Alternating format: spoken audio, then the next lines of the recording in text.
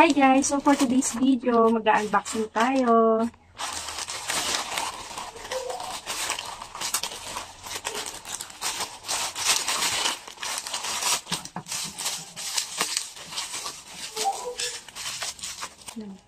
Ayan. Very Sand Permanent Hair Color. Try natin siya kasi nung nandun ako sa Manila, na-try ko na to. Like, this is for the second time. try natin ulit.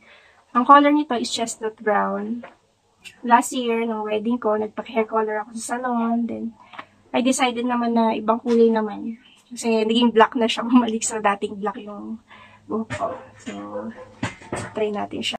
Uh, Mary San Hair Permanent Color, guys. Ang sabi dito sa box, adds radiant color and tone to all types of hair.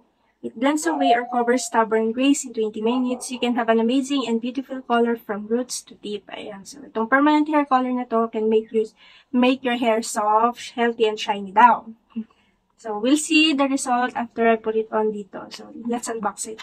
Tingnan natin sa loob kung anong laman niya. Ooh. So, ito yung laman niya. Yung kit niya. Meron siyang developer uh, permanent hair colorant. Ito na tayo yung chestnut brown. And after na nailagay ko na siya dito is meron siyang permanent conditioner. Then, shower cup and gloves na kasama. Yun. So, complete set na siya. Hair coloring kit na siya. Long lasting daw. Lumipat ako dito sa dirty kitchen namin, guys. Ayan. No. Mas okay dito, mas maliwanag. At ito pala yung buhok ko. Naging black na siya. At ito yung na-bleach last year. Ayan. Kita niyo. Nagbubaba na siya. Dati, blonde color siya. Ngayon, ibahin natin. At start na tayo. Dito ko na pala siya imimix, guys. Ayan. Meron na pala siyang kasamang plastic bowl na rectangle. Dito na siya. So first, itong permanent hair color developer. Lahat to lalagay natin.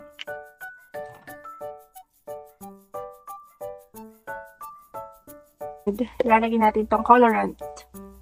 Ito na yung chestnut brown.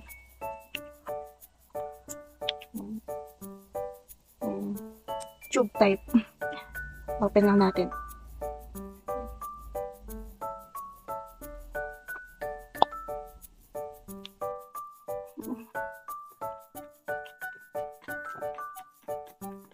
mix-mix lang para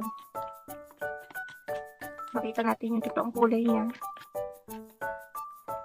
Nag-gloves na tayo guys. Nalagay ko lang yung gloves ko. Mano-mano ko siyang ilalagay sa aking buhok kasi wala akong brush or any. Huwag niyo ako iba. So, basta malagyan lang ng kulay itong. So first, satiin ko lang siya dito. Kuha ko dito. Yan. Um, papahid ko lang siya dito sa buhok ko. Naman sa kabila.